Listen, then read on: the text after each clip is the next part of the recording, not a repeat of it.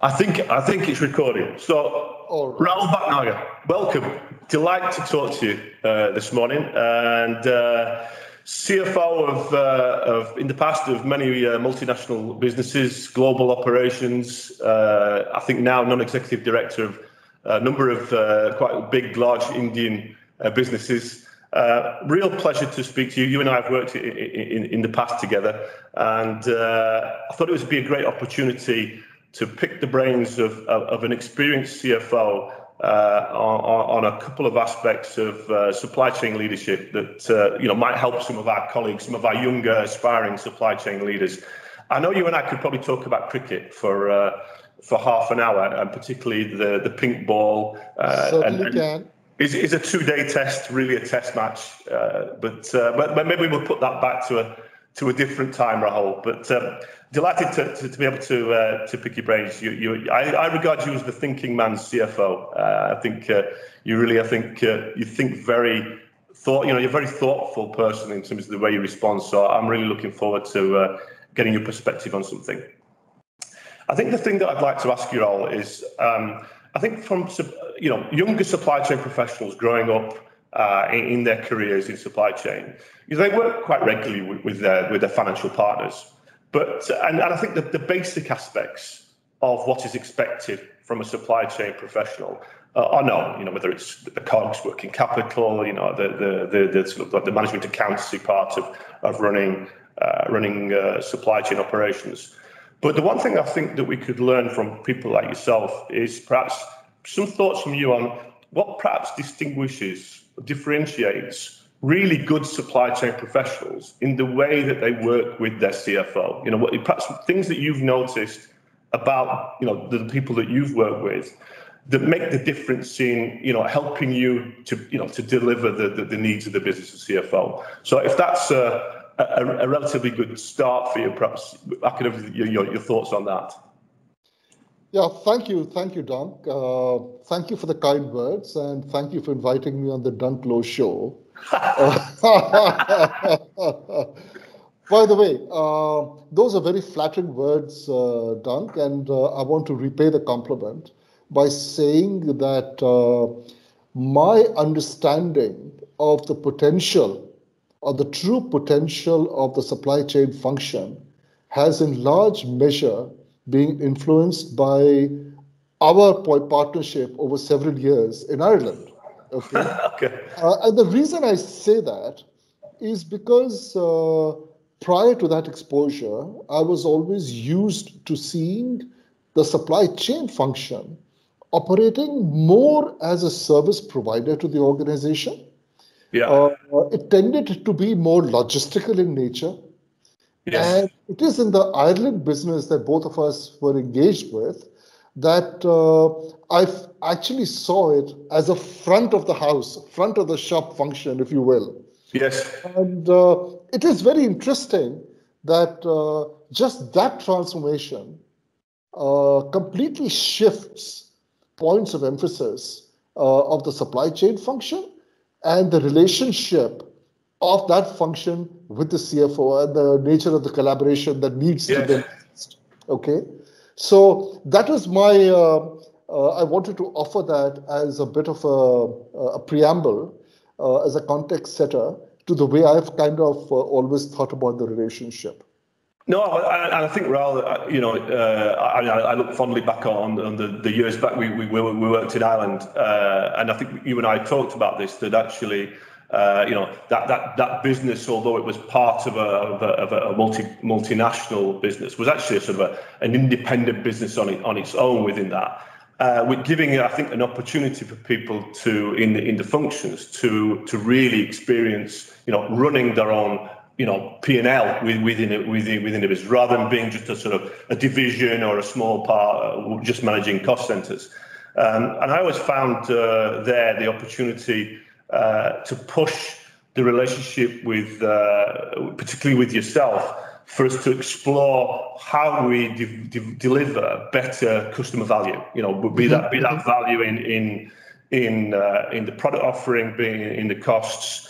Um, but I think you know one of the things that I'd be interested in, you know, is what uh, what is it about uh, you know the, the, the relationship you know the beyond the transactional relationship mm-hmm. what mm-hmm. is it that, that makes the difference you know for you you know you as an perhaps you as an individual as a cfo what is it what is it beyond the transaction that really you know ex, you know inspires you to to to deliver more with the with, right. the, with the individual so, so so doc i kind of look at it as um, an interdependent kind of a relationship uh, to use uh, an old cliche, uh, cash is king, right?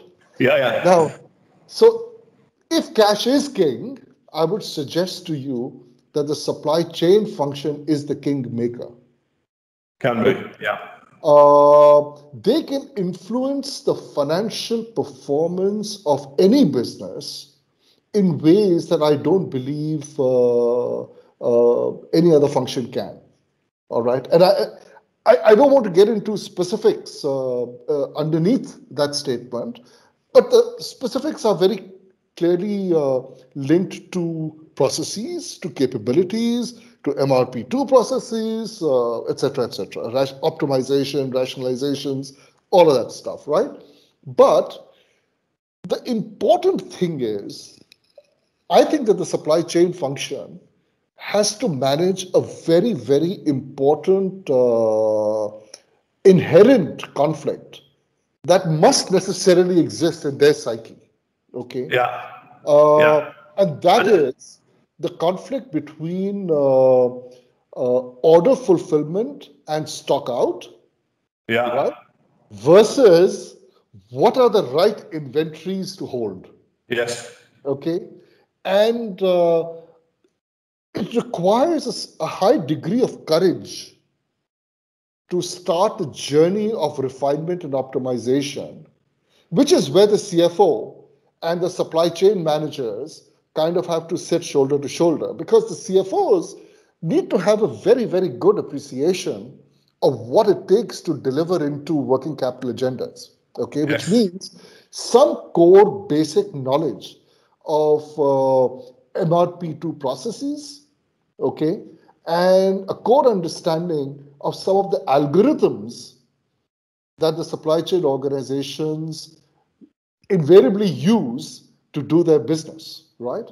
So you can't have uh, an old world finance person who doesn't have an appreciation of all of this sitting alongside supply chain or making unrealistic demands because there will be unrealistic demands. There'll be targets set, and that's, I think, counterproductive right? I, I think I, I, think that role. I mean, to, what you just said there to me is is is actually one of the defining differences. You know, we could almost end the conversation here because I think for me, what you articulate in terms of the role of the CFO with supply chain, which is about not just that transaction relationship of setting some targets, setting some, you know, but actually, if the supply chain professional can elevate the conversation to the CFO to, to be on the level of the CFO, you know, and I think that's perhaps what you and I tried to do, which is elevate the conversation around working capital. It's my responsibility as well as the CFO's responsibility. Absolutely.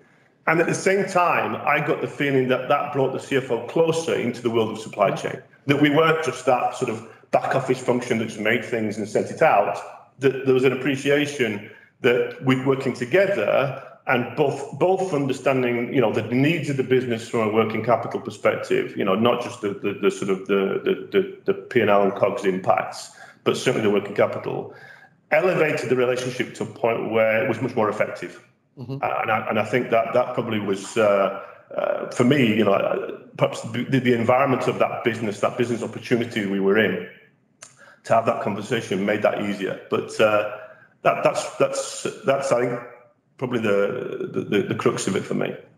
I agree with you because I, I, I'd submit the nine, nine, nine partnerships out of 10 between finance and supply chain uh, tend to be restricted to transactional, target setting, target based interactions. And I don't think those exploit fully the power of the collaboration that is entirely possible. Yes. Okay? So, uh, uh, so that was one.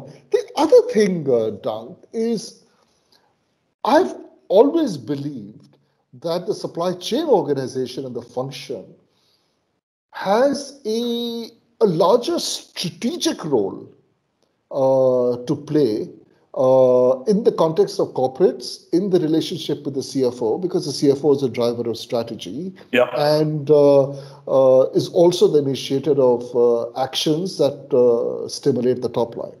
Yes. So, at what stage does uh, the supply chain function become a source of competitive advantage? Yes. And I can clearly see one setting in which I've seen it being used and I think it is very impactful.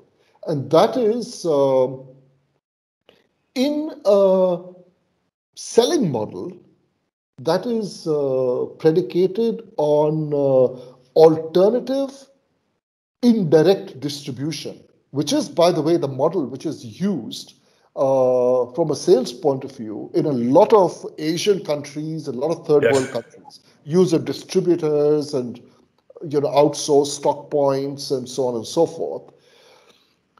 So the order fulfillment process tends to be uh, uh, predictive in nature. So you got to be clear about who you're selling to. You know, you don't want to be selling to multiple agencies, right? Or multiple customers. Yeah. So there is a, there is a predictive capability that some really high performing companies um, have developed.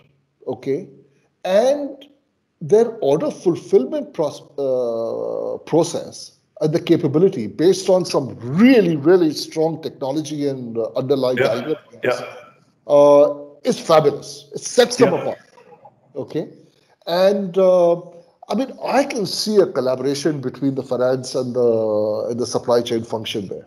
Yeah, well, I, I think that's. Uh, we, we, I think we'll, we'll, bring. We'll draw. We'll draw to a close at, uh, this point, Rob, because I think that's that second point you're making is incredibly valuable. I, you know, and I, I see it in, in, in, many businesses. That relationship between the FP&A grouping and the supply chain needs to be understood, relatively clear, but completely collaborative. You know, that opportunity to understand. You know, it's not a question of uh, you know demand planning being owned by supply chain and passing Absolutely. data on. I think actually the, the opportunity to be collaborative through that financial planning process the ownership of volume, what am I going to sell? What does that cash up mean for the business? Uh, I think is incredibly powerful. And I think uh, your, your, reflections on that you know, is something I think for supply chain leaders to think about. So Rahul, uh, thank you very much for your time. I think uh, the, I think the average time span of a, of a, of a video on LinkedIn is about, about, 45 seconds. So we probably lost everybody about eight minutes ago. But I, I thoroughly enjoyed the conversation. Uh, I'll try and make sure this bottle of 18-year-old Glen Grant uh, goes on, on. On its way. Thank you very much. With, with, with the 300% uh, tariffs so whatever we get going into to India. But uh, uh, thanks very much for your time, Rahul. Great to see you. Thanks.